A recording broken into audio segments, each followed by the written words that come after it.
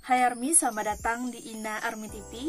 Video kali ini gue bakal share informasi mengenai Rambut terbaru Jimin di konser BTS Las Vegas tuai sorotan. Belakangan, Jimin membiarkan rambutnya panjang, namun dia memutuskan untuk mengubah penampilannya untuk konser BTS Permission to Dance on Stage Las Vegas. Seperti biasanya, hari pertama konser BTS dimulai dengan soundcheck, ARMY pun membanjiri media sosial dengan potret para member yang tampil mengesankan meski konser belum dimulai. Dari semua member, penampilan Jimin paling menyedot perhatian karena rambut barunya yang terlihat lebih pendek. Tak hanya memotongnya pendek, dia juga mewarnainya dengan coklat kemerahan yang lebih terang. Alhasil, penampilan Jimin terlihat menggemaskan dan awet muda. Meski terkejut dengan rambut baru Jimin, ARMY memuji idol kelahiran 1995 tersebut makin imut.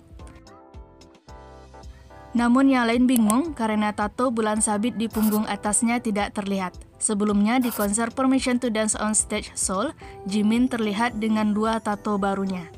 Sementara tato Yuts di belakang telinganya masih ada.